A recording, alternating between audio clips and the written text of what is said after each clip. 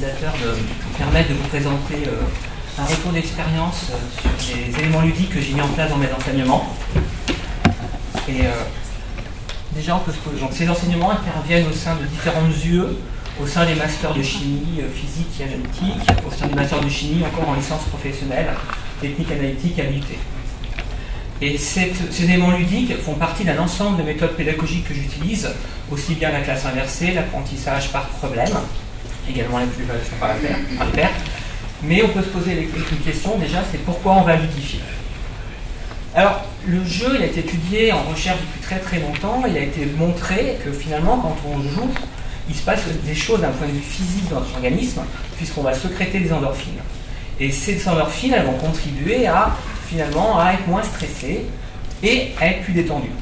Donc on comprend tout de suite que quand on va jouer, l'étudiant va se trouver dans une situation qui va être beaucoup plus euh, propice pour apprendre et on a démontré que ça va stimuler son engagement, ça va augmenter sa motivation et surtout ce qui est important c'est que quand l'étudiant va jouer, il va pouvoir euh, se tromper, recommencer, il aura la peur de l'erreur. Et un point aussi intéressant, c'est que le jeu, comme ils vont se réaliser souvent par équipe, on va développer les habiletés de communication et de coopération tout en jouant. Donc on travaille également sur les compétences comportementales.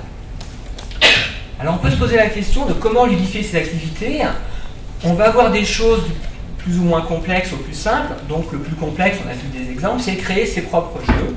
Donc ça peut être un serious game informatique, ça peut être un jeu de plateau comme on a vu avant mais on peut aussi s'inspirer de jeux existants et les détourner. Autre chose aussi pour gamifier, c'est qu'on peut simplement rajouter des éléments ludiques.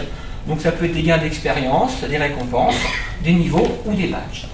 Alors nos plateformes pédagogiques nous permettent par exemple de facilement euh, rajouter des badges. Donc on a peut avoir des badges de réussite. Là, ça c'est typiquement j'ai un QCM, bah, je vais essayer de faire le QCM qui est optionnel pour avoir le badge. Alors les badges c'est moi j'ai une application de course à pied, je peux gagner des badges. Je me rends compte qu'à chaque fois j'en fais toujours plus. Et ben pour les étudiants, ça va être pareil. Alors ces badges, généralement, on décrit euh, les actions qu'il faut faire. Donc par exemple, c'est des badges de participation. Euh, de participation. Donc par exemple, ça va être sur un forum de discussion. Malheureusement, ce type de badge-là, il est attribué directement par rapport à une action qui a été faite. Euh, le fait qu'il ait posté un message, mais on n'a aucune, aucun retour sur la cohérence. Donc la première année, j'ai mis en place les badges. L'année d'après, je me suis dit, ok, ça ne va pas. J'ai des interventions qui ne sont pas très pertinentes. Donc j'ai mis en place un badge sur les meilleures interventions sur le forum. Et c'est moi qui donne ou pas ce badge-là.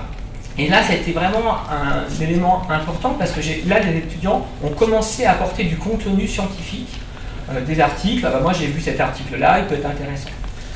Autre chose aussi, sur les badges qu'on peut avoir, j'ai créé le badge mystère. Donc j'ai plein d'éléments. On ne peut pas mettre des badges sur tout ce qu'ils vont faire, mais le badge mystère va permettre, par exemple, d'aller, de récupérer ce badge, mais sans que l'étudiant sache comment. Donc il suffit, par exemple, s'il a vu une vidéo, deux vidéos et un certain wiki, et eh ben, il va avoir ce badge-là. Donc les étudiants, ça les amène à aller fouiller un petit peu dans toutes les ressources et bien sûr les visionner. Alors fouiller, cliquer pour avoir un badge, c'est bien, mais comment être sûr que finalement euh, il, voit tout ça? Et là, j'ai aussi créé un badge qui s'appelle le code à valider. Et dans l'espace pédagogique se trouve un code que l'étudiant doit trouver, et ensuite il va aller sur un petit QCM, il va remplir son, son, mettre le code, et il aura le déclenchement du badge. Donc ça, cette année, je l'ai mis dans une vidéo, donc je apparaître pendant 15 secondes le code, et l'étudiant, ça oblige à apparaître toute la vidéo. Alors, certes, quand on répond un QCM, c'est qu'on a vu la vidéo, mais parfois, les vidéos, on les zappe un petit peu. Donc ça, c'est vraiment le plus simple c'est des, petits éléments ludiques qu'on peut mettre en place en distanciel, mais en présentiel, on peut aussi s'inspirer de jeux existants. Par exemple, on peut transformer un QCM en bingo. Donc moi, j'ai fait des cours de spectrométrie de masse, j'ai créé des spectro bingo. Je fais de la chromato, j'ai créé des chromato bingo. Donc j'ai créé tout un tas de bingo de façon assez simple. Je vais vous montrer aussi qu'on peut utiliser les cartes flash pour jouer au jeu de morpion. Alors, rapidement, le bingo, vous connaissez tous, euh, c'est une grille qu'on a, généralement on achète sa grille quand on va faire un bingo.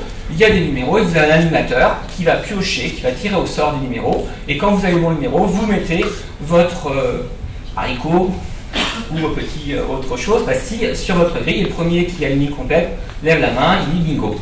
Et bien ça va être pareil avec vos étudiants. Vous allez leur demander de créer des grilles en 3 par 3 si vous avez 9 questions ou par 16, et vous demandez à vos étudiants de numéroter aléatoirement euh, vos grilles de 1 à 16, par exemple.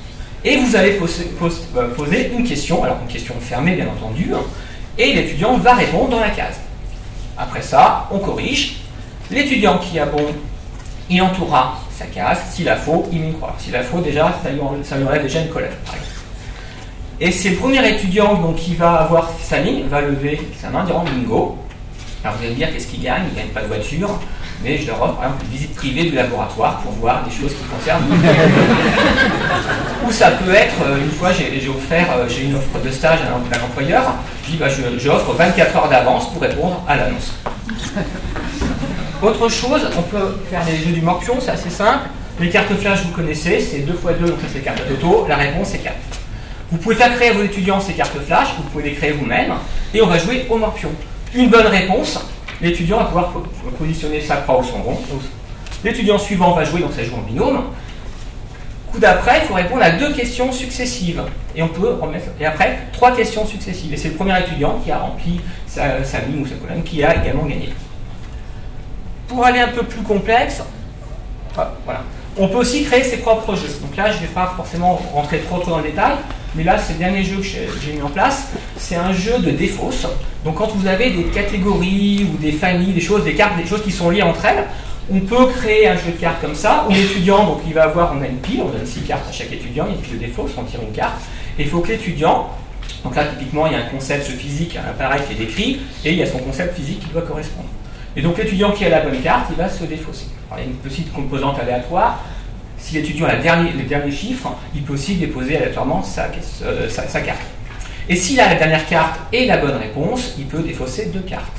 Donc ça, il y a le côté stratégique qui va commencer à rentrer en ligne de compte. Alors on peut dire oui, on joue, mais euh, qu'est-ce que j'ai comme interaction? Et eh bien il y a aussi dans la règle du jeu la possibilité de demander une vérification. Parce que là, c'est vraiment un jeu pour apprendre. Donc l'étudiant, s'il n'est pas sûr, il dit moi je demande une vérification. S'il s'avère que l'étudiant euh, il a raison que c'était faux, donc l'étudiant répond à la vérification, et ben on va défausser l'étudiant qui a faux va prendre la carte dans, la main de l'étudiant qui avait, euh, qui avait demandé cette vérification. Donc ça c'est assez simple à mettre en œuvre. Donc là pour l'instant je suis sur ce jeu-là, les premiers, là vous avez ici les premières versions au niveau de donc c'est encore en cours. Mais le jeu il tourne hein, en bêta version, imprimé euh, pas dans ma cuisine mais dans mon salon. Alors on peut aussi aller sur des jeux un peu plus complexes et je vais m'arrêter là. Euh, j'ai également mis en place il y a quelques années un jeu vraiment de plateau pour euh, l'expérimentation, pour la mise en situation professionnelle. Donc là, vous avez des étudiants en train de jouer. Je ne vais pas vous rentrer en détail, il y a des missions à remplir avec ici des différentes combinaisons, etc. Donc, juste pour, euh, pour conclure, donc le jeu, c'est bien, c'est un outil pédagogique parmi d'autres. On ne fait pas tout avec du jeu, il ne faut pas tout faire avec du jeu. Ça doit vraiment s'inscrire dans un scénario pédagogique. Ça peut être dans un cours en amphi, on décide à un moment donné de faire un break, hop, on fait un petit morpion, ça nous prend 10 minutes, un quart d'heure. Et que vous dire d'autre? Bah, Moi, je, je, je, de vous dire, bah, il faut tester, il faut essayer. Et moi, j'ai créé ce jeu-là, le premier jeu, il y a, il y a maintenant 4-5 ans. Quand je vois les bénéfices en termes de motivation d'étudiants et surtout à l'examen sur cette partie du cours, et bah, ça m'a donné envie de continuer et j'ai fait le jeu que je l'ai montré juste avant. Je vous remercie de votre attention et je remercie également le personnel du